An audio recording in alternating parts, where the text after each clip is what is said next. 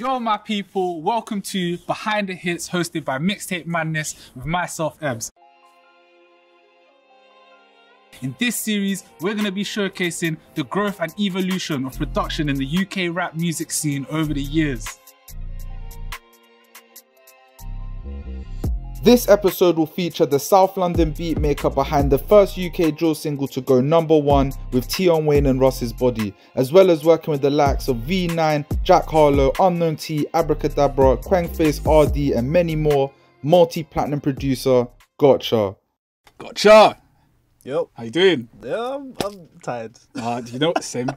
Talk to me, man. What's up? What's going on in the life of Gotcha right now? What's what's the latest? Ah, it's been a good year, you know. Had Body come out, a whole load of remixes, Platinum number one, With It came out, Yeah. T on RD. Life's good, man. I can't even complain. Life's good right now. For those at home and watching on the go, Mm-hmm. whatever, walk us through like the upbringing of Gotcha from the eight, like five, six year old to like getting into secondary. Just walk Mm. us through the upbringing, what, what the the household was like, siblings, what, what's going on, man? Grew up in my household, me, my mom my older brother. Growing up, I will lie, I can't lie, I was a little shit. Is it? Yeah, like I always knew I kind of had like a passion for music, but didn't really try to pursue it. yeah, yeah. It's kind of just a thing where, because it's my passion, I kind of just do it. Oh, The same way some people know they can draw, Yeah, yeah. but they just don't pursue it as a career. They just do it because they just enjoy it, sort of thing. Oh, okay, yeah, yeah. Yeah, I mean, growing up, a lot of my family were very high musically orientated. Sort of thing. Okay, yeah, So yeah. kitchen, mum's playing all the old school bangers, lovers rock, soul, jazz. You you name it, she was playing it.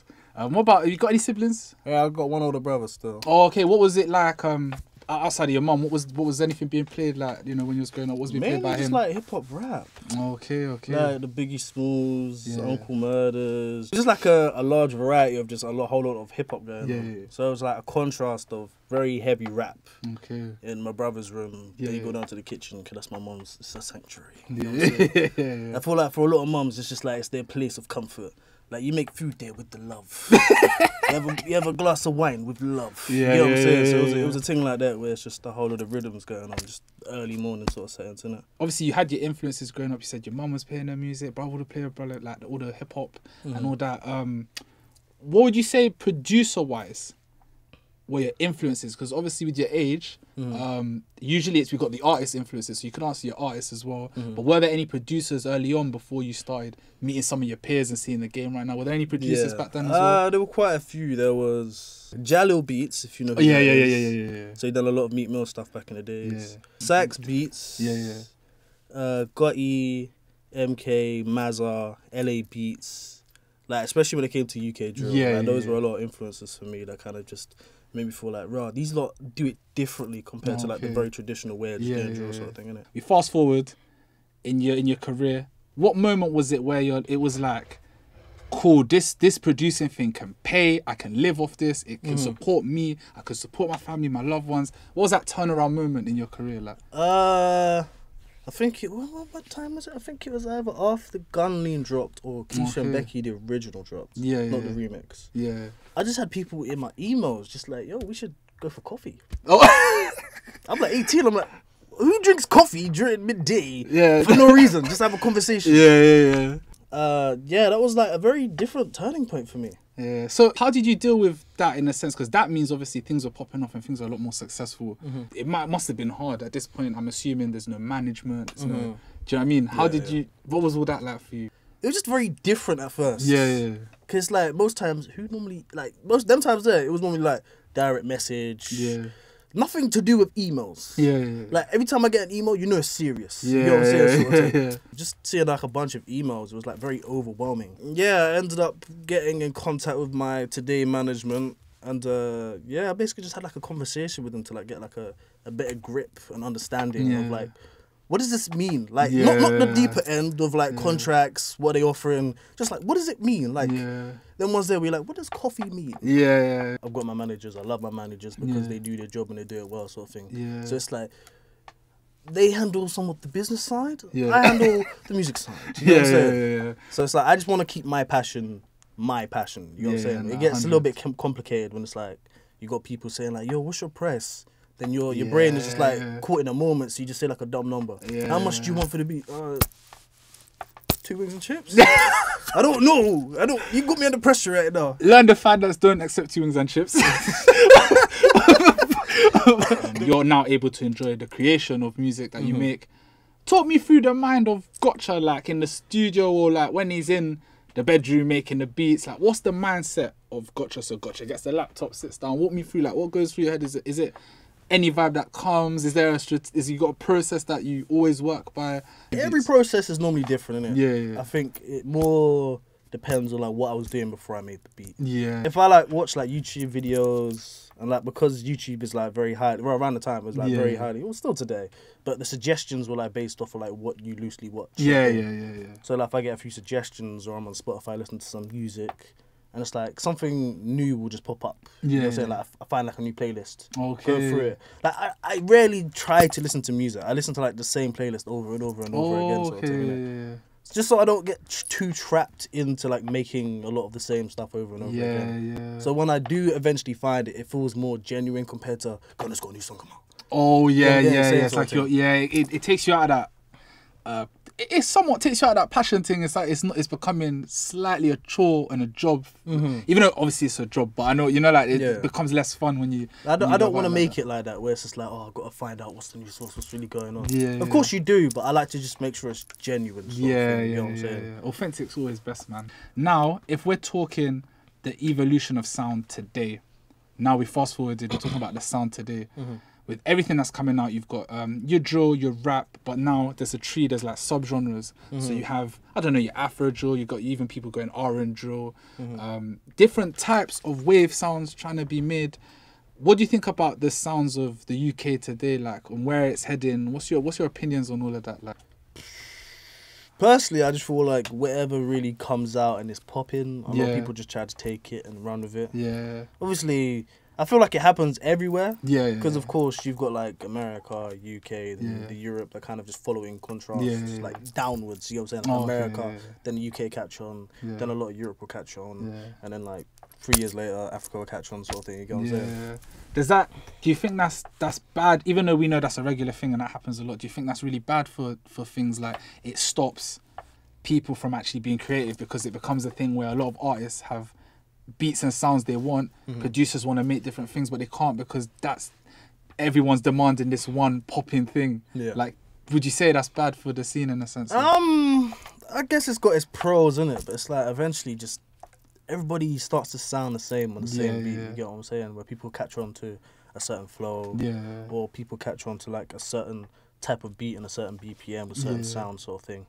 It's like eventually everybody just starts to sound somewhat the same. So then it limits people who actually have like authentic, genuine ways of being creative Yeah. compared to just yeah, someone added a a Moog bass on Oh, drill yeah, yeah, and now everybody's gonna start using Moog basses sort of thing, Yeah. innit?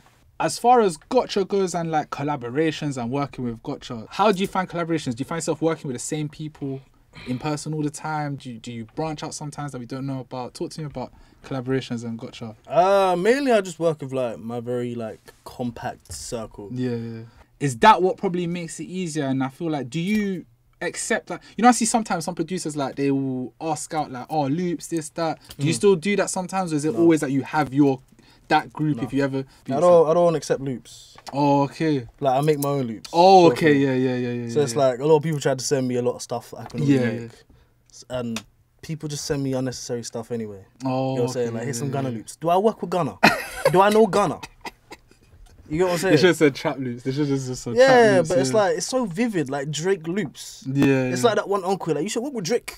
Do I know Drake? How am I gonna get in contact with Drake, Drake? to get this Drake? placement? Drake. Drake. Because you say you make your own loops. Mm. I'm not gonna. I wouldn't know if everybody in that group makes their own loops. Like, what do you find yourself doing the most most times? Like, Yeah, most times the loops. is it? Oh, okay. So it's like most times man will be like, yo, like any man got loops, anybody trying to cook up sort of thing. innit? Yeah, yeah. Every man's got their, their laptop out. Yeah, yeah. But most time I'm just like, oh, if I'm in the studio, I'll be real. Sometimes I'm sipping a Maggie, maybe two. Yeah. I'm feeling myself. I'm, I'm overly gassed. I'm like, yo, let, let me show them the performance. You get me? Yeah, let me show what I can do under this pressure right now. So um, yeah, most times I'll just make the loops, start it off, maybe add like a most like recently I've just made like the loop or I've already got the loop there. Yeah. Added like an eight 808, just like one eight 808, just so there's you know, my own version of something in there Yeah, apart yeah, from just the loop. You know what I'm saying? yeah, Like. I still want to add something to the beat. Yeah, of course. Man. And then obviously other people come along, add their their little pieces here and there. Yeah. Then eventually, I feel like every producer at one point of time tries to create like put their own little insanity into a beat.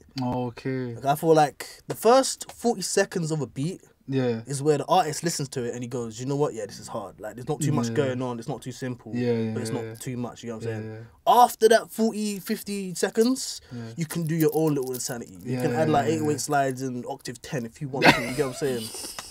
Obviously, again, you can't really answer this, but it's nice to just know your thoughts. What would you like to see going forward, like let's say this year, in terms of the sounds that kind of come to the forefront? And what do you think your role could be in that if you're, you know, with your answer?